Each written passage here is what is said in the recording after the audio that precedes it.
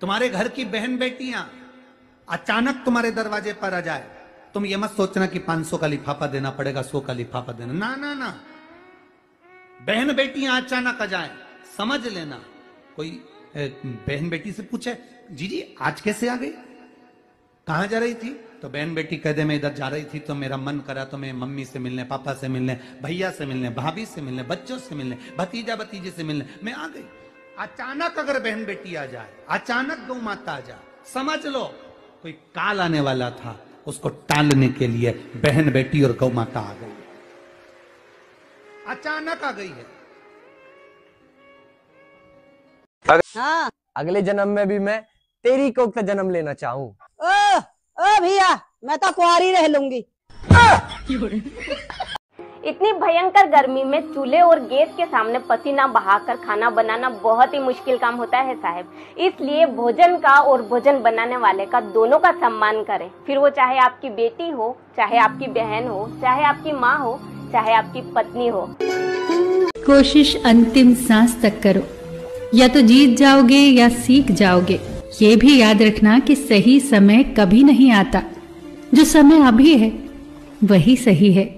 आदतें और संस्कार ही बताते हैं कि आप दो कौड़ी के हैं या सौ कौड़ी के। दुनिया में तीन काम सबसे कठिन है। पहला, विश्वास करना। दूसरा, विश्वास होना और सबसे कठिन है, विश्वास बनाए रखना। जल्दी जागना हमेशा ही फ़ायदेमंद होता है, चाहे फिर वो नींद से हो, अहम से हो या वहम से हो। जो व्यक्ति दूसरों की विशेषताओं से सीखता है न तो उसे ईर्ष्या होती है न जलन।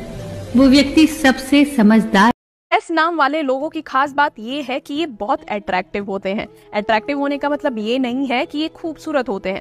इसका मतलब ये है कि इनकी वाइब्स बहुत पॉजिटिव और स्ट्रॉन्ग रहती है, जिसकी वजह से आसपास के लोग इनकी तरफ़ बहुत जल्दी अट्रैक्ट हो जाते हैं। इनको भीड़ से अलग दिखना और अलग चलना पसंद है।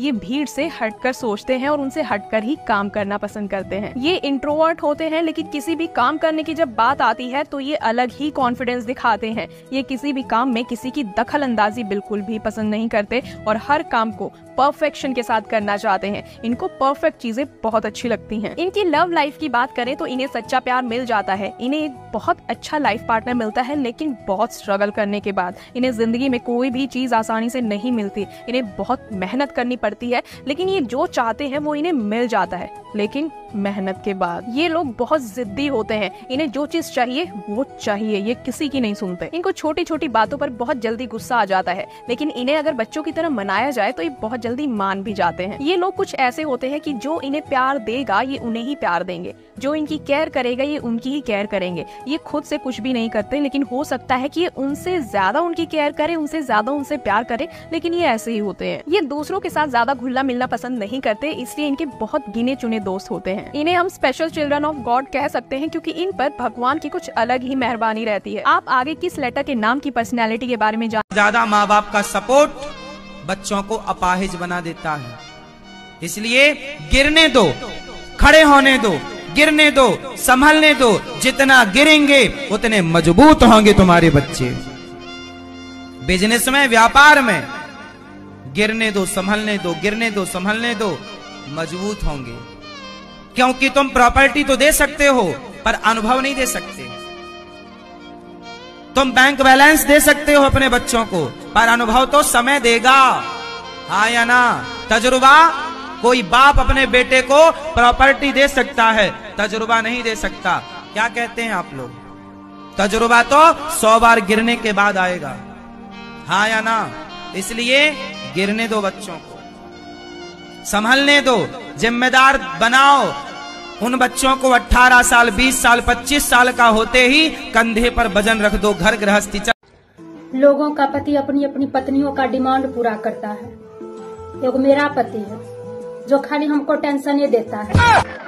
मिट्टी का मटका और परिवार की कीमत सिर्फ़ बनाने वाले को पता होती है तोड़ने वाले को नहीं।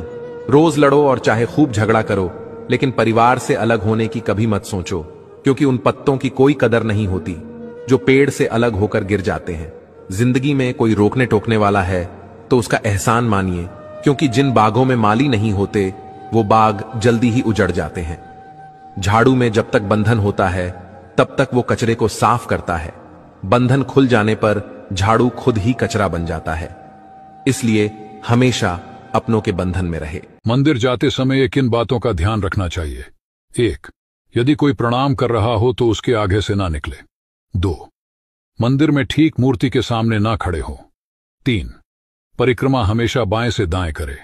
चार। मंदिर में मौजे पहनकर न जाए। पाँच।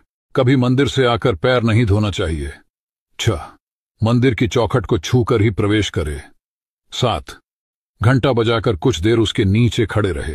बेटी के माता पिता को कभी तीरथ जाने की ज़रूरत नहीं पड़ती।